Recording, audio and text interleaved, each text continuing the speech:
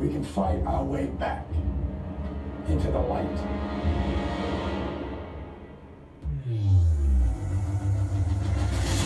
Recycle your past. Get something from it. You already past. Use it. Do something with it. Allow it to take you to the next level. Allow your pain to push you to change.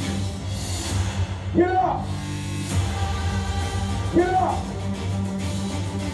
Sometimes in life, you have to hit back. Everybody trying to stop you. Everybody trying to kill your dream. You're going to prove all of them wrong. I don't care what the scoreboard says. We're going to be winners. So now you got to go out and show them that I'm a different creature. Now. Than I was five minutes ago. This is your fight. Now go out there and take it. You know what you're worth. Out and get what you're worth. Again and again and again, the lights are cut off, but you're still looking at your dream, reviewing it every day and say to yourself, it's not over until I win. Make a declaration to yourself. I'm unstoppable. This will not get me down. Live your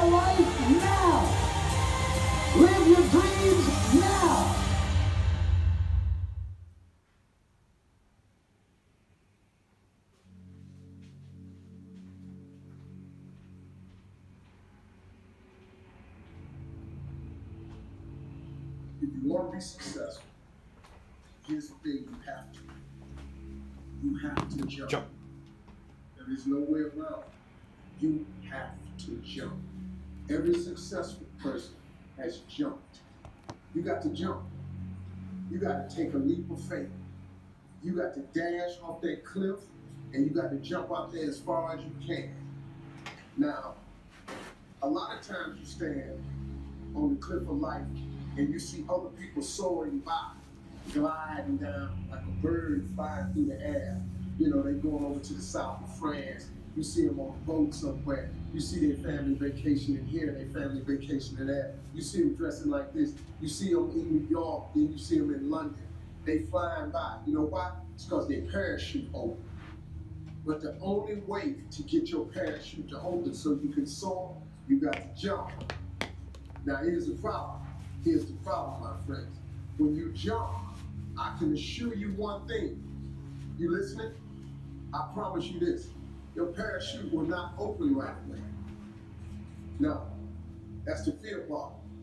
I promise you your parachute will not open right away.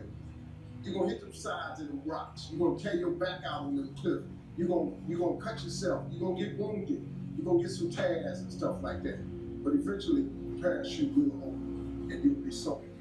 Here's the other caveat. Let me teach you this right here. If you do not jump, I promise you one thing. Your parachute will never open. So you're safe, but you'll never soar. You got to jump.